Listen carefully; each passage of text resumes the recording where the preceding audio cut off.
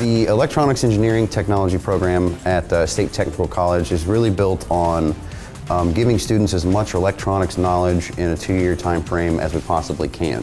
That includes a little bit of engineering. It is mostly hands-on work, technician-wise, uh, sitting at a bench, you know, building circuits, testing the circuits, troubleshooting pieces of equipment.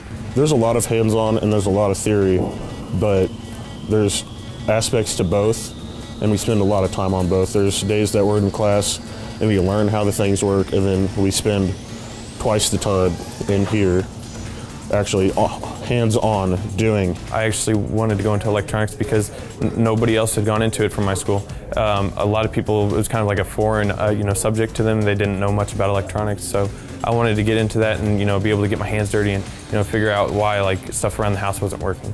The great thing about our instructors is that, you know, like this class, I only have, you know, eight to 10 students in, so it's a good student to teacher ratio, so you actually get more one-on-one -on -one time with the teacher as of right now, uh, the jobs in the field of electronics are through the roof. Um, a lot of the generation that really started and built the groundwork for any electronics engineer or technician, um, they're getting to the point of retirement and a lot of these jobs are starting to come open that just weren't there before.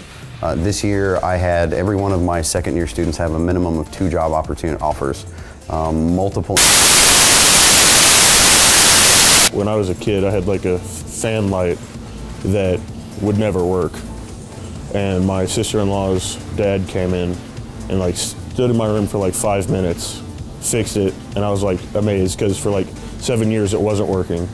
And then just one day this guy comes in and fixes it, and I was like, I want to be able to do that.